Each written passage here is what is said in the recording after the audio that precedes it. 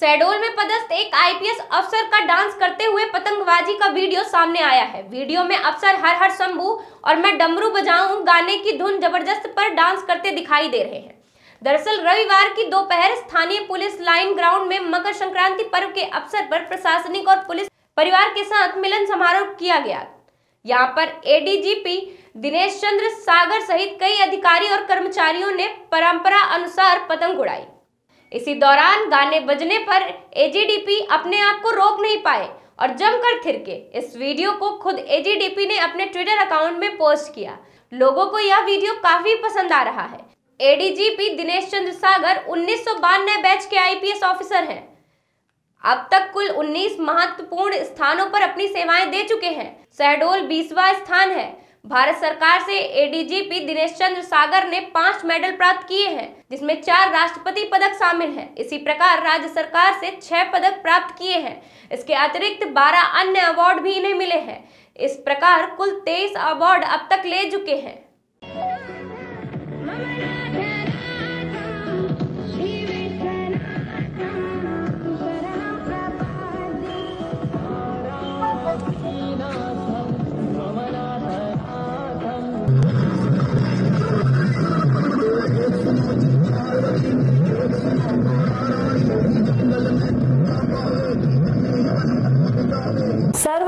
युक्त national hospital समान तिराहा रीवा में।